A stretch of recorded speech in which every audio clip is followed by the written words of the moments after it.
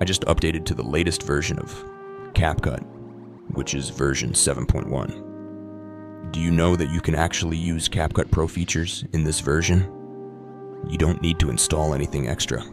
You don't have to download anything risky. You won't need to visit any shady websites at all. We are going to use an inbuilt feature inside CapCut itself.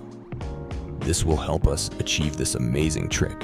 This video will guide you step by step on how to use CapCut Pro features in version 7.1.0. It includes a disclaimer that the video is for educational purposes only. This video does not promote piracy or external software. I emphasize the importance of watching carefully to ensure the method works. I will use CapCut's built-in tools and existing folders on your computer. So first things first, let's download CapCut, and we are going to download it from CapCut's official website.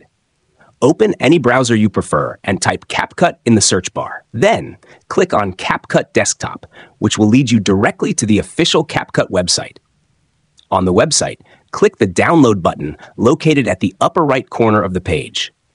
CapCut will redirect you to a new page, and all you need to do is wait for the installer to download onto your desktop. Just give it a moment until it completes. Is wait for the installer to download onto your desktop.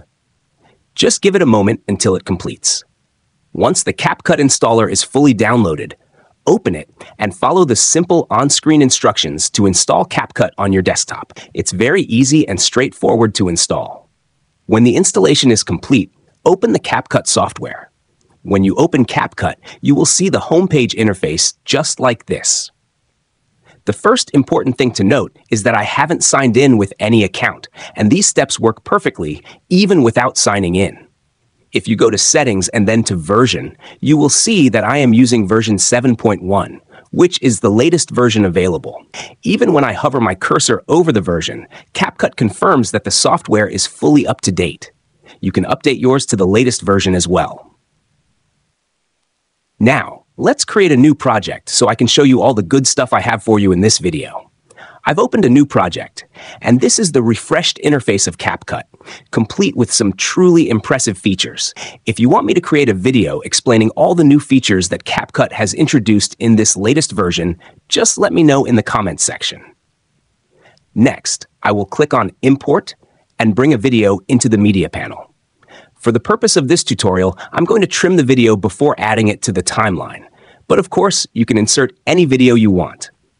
After trimming it slightly, I'll add it to the timeline and trim it again just a bit because I don't want this tutorial to be too long.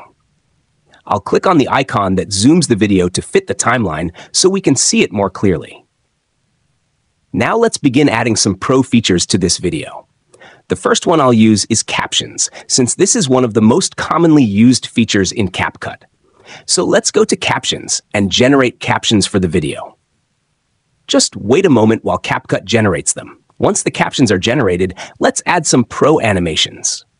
Go to Animation and then move to the section where the custom caption animations are located. From there, select one of the pro animations. I'm choosing the Boost Out animation for this tutorial. Next, let's go to text and change the font to Jumper. Now let's add even more Pro features to the video. You can actually apply any Pro feature while editing. I will start by adding an effect. Go to Effects and apply the Golden Big Bang effect, which is also a Pro effect. Then I will go to Filters and add a filter to the video. For this example, I'll use the Bad Bunny filter. After adding it, I'll extend the filter so that it matches the entire duration of the video, and then decrease its intensity slightly to make it look cleaner.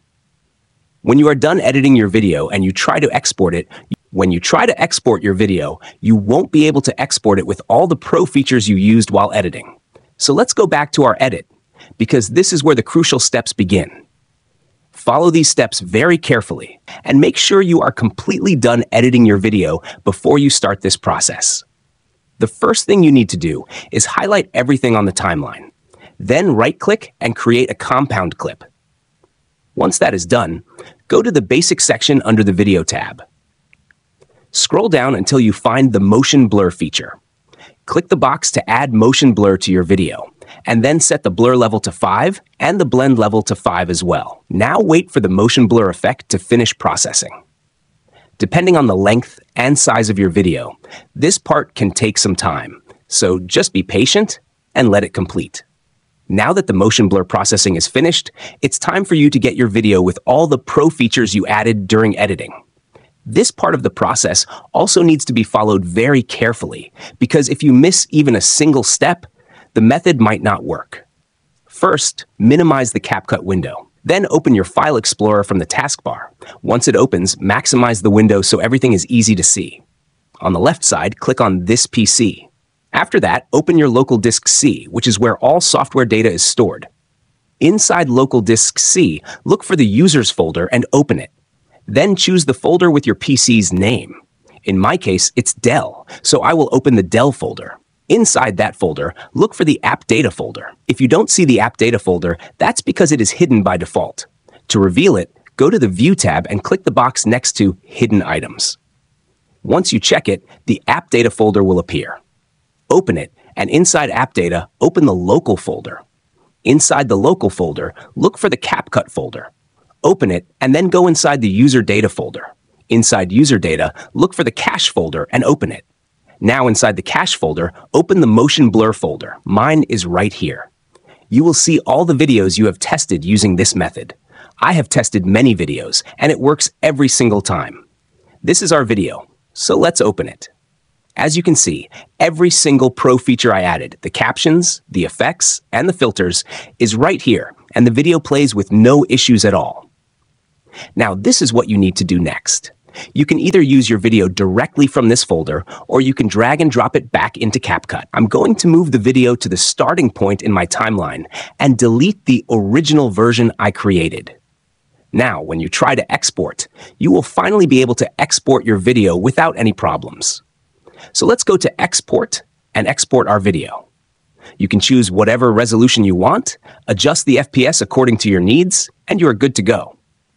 Now you can export your video with all the pro features applied.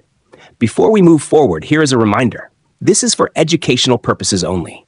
I am not promoting piracy, third-party applications, or illegal downloads. Everything shown here uses CapCut's own built-in folders on your desktop. This method may not work for everyone because different devices and software updates can change how CapCut behaves. I hope these CapCut tricks help you get more out of version 7.0. But remember that results can vary depending on your system and updates.